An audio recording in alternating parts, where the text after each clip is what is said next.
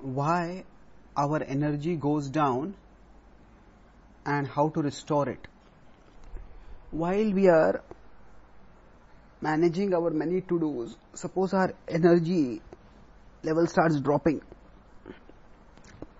We might presume that we are weak, sick, or just plain lethargic. There's one less considered possibility, however. We might just be confused. To understand how decrease clarity, decrease in clarity can decrease energy, here's an example. Suppose we are trying driving for an urgent meeting. If stormy winds muddy our car's windshield, we will naturally slow down. Once we clean our windshield, we can again drive faster. So our driving speed depends not just on our car's engine, but also on our clarity. The same dynamic applies to our inner world, although more subtly.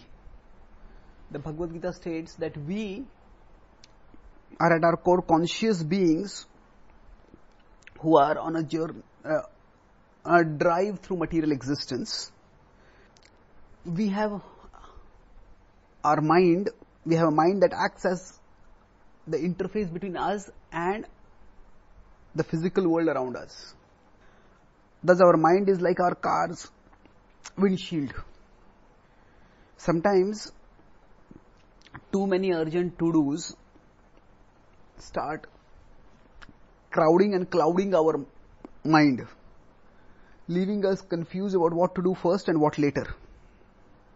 Choosing impulsively, we do what we can, but soon find that too many important things still remain undone.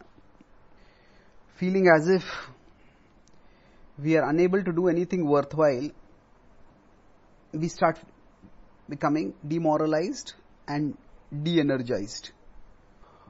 To regain such loss of energy, we need to first seek clarity.